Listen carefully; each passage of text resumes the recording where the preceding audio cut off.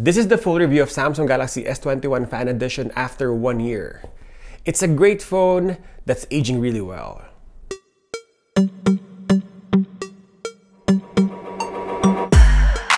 Hi everyone, this is JD, your gadget review friend. Welcome and welcome back to Gadget Rev Now. Samsung is known for their flagship S series, but inside of the S series, we still have the famous and well received FE series, or what we call the Fan Edition. Confused much? Fan Edition is basically the phone from last year, sold at a lower price that launches before the flagship of the current year. The Samsung Galaxy S21 Fan Edition is basically the Samsung S21 of last year, sold together with S22, but with a lower and more budget-friendly cost. Despite the outdated components of the phone, the aging Snapdragon 888, and non-adaptive refresh rate and lackluster build, the S21 FE is actually a great phone that is aging well.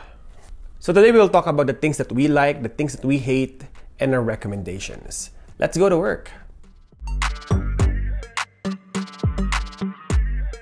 First, let's talk about the things that we like. It has the same Snapdragon 888 as Galaxy S21. Although we now have Snapdragon 8 Gen 1 and soon to be Snapdragon 8 Gen 2, Snapdragon 888 is one of the fastest processor in a smartphone today. Mobile games I play with this phone is absolutely smooth. Most of them can be played on ultra or high settings, and I barely feel any hiccups. Certainly, I was able to switch back and forth between apps without any issues on Samsung Galaxy S21 FE. Although it only has 6 gigs of RAM on my test unit, I also appreciate how the phone can handle some fairly demanding apps without hesitation. I played Mobile Legends on Galaxy S21 FE, and the game ran smoothly without sacrificing the graphic effects of the team plays, and I didn't have any issue with the gameplay lags. My experience is reflected by our benchmark test for the Galaxy S21 FE. When we run the Geekbench 5, we got a multi-score of 3199. It is lagging behind the older OnePlus 9, but faster than last year's Pixel 6 if you want to run comparables on similar flagship models. Next is the 5G connectivity. Snapdragon 8 Gen 1 is equipped with 5G chip that will give you insane performance and download and upload speed. On my day-to-day use, the 5G seems to hit the battery a little bit, so I'm playing around 5G or LTE at times. I don't really need the fastest download speed because normally I only do video streaming and occasional web surfing and social media. Still, for someone's dying need of the fastest connectivity, even the Fan Edition has it. The 6.4-inch AMOLED panel of Galaxy S21 FE is larger than standard Galaxy S21 6.2-inch display, though a bit smaller than 6.5-inch screen of last generation's Galaxy S20 FE. The smaller panel doesn't feel particularly cramped, and it probably makes the S21 FE easier to use with one hand than the previous model. And like the S20 FE, the Samsung Galaxy S21 FE can support 120Hz refresh rate if you set the motion smoothness to high in the device settings app.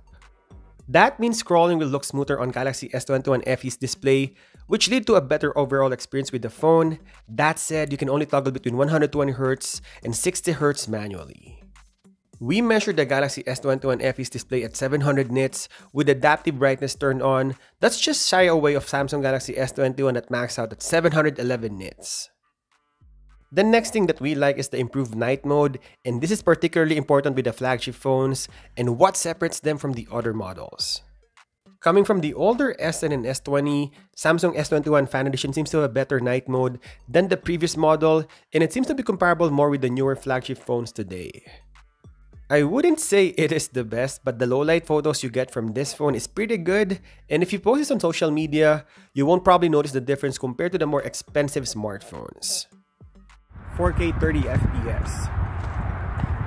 And that leads me to the next thing that we like, the good all-around camera. It is a solid camera phone because it packs the similar hardware and zoom capabilities as the Samsung Galaxy S21 5G.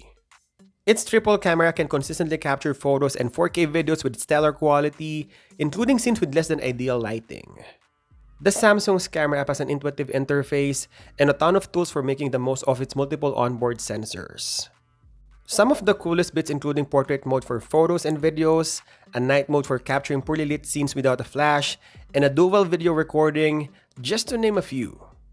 The cameras of this phone is pretty good, it will beat some of the rivals on the same price bracket. This phone ships with Android 12 out of the box and upgradable to Android 13.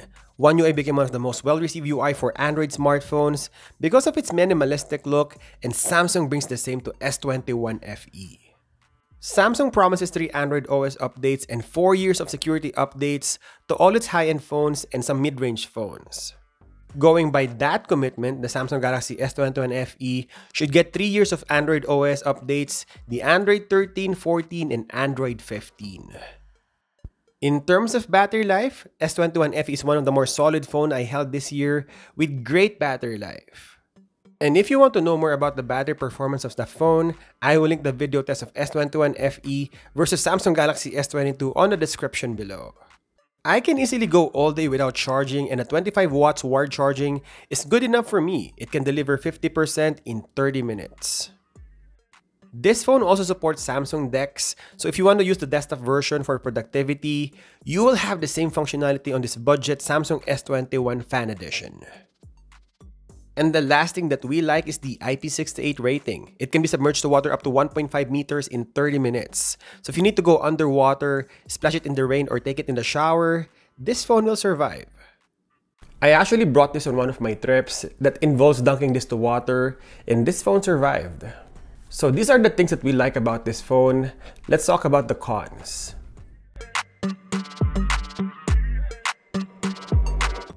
Now let's talk about the things that we hate. First, the lower resolution telephoto camera compared to Galaxy S21.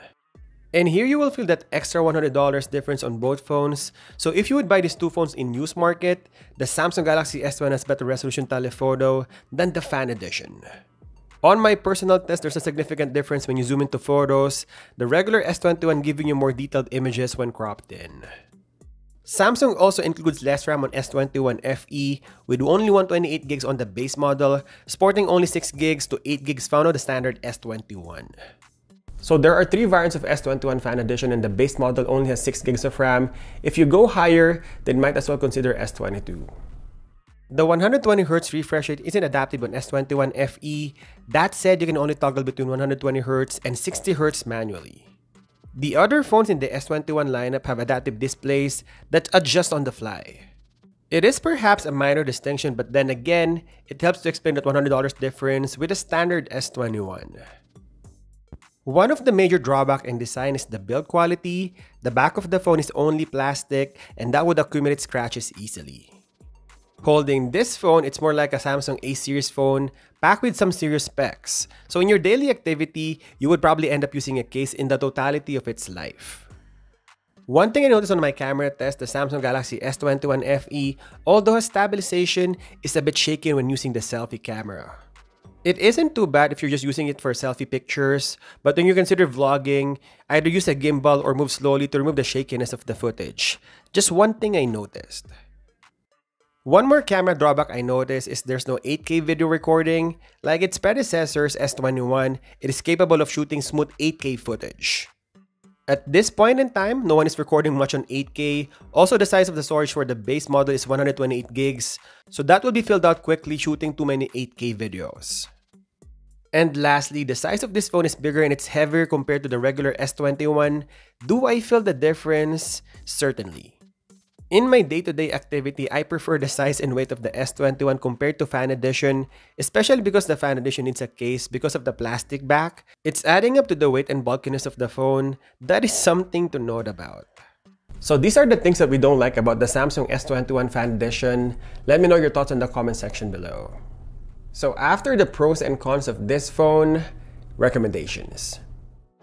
I will not recommend this phone to people who needs 8K recording. There's no 8K video recording and the selfie camera is a little shaky for vlogging. Also, you need to put a case on this phone. Get the slimmest case as possible. And I will recommend this phone to anyone who's on a budget and needs a great flagship phone that can be used for gaming and a camera that will match the newer phones of 2023.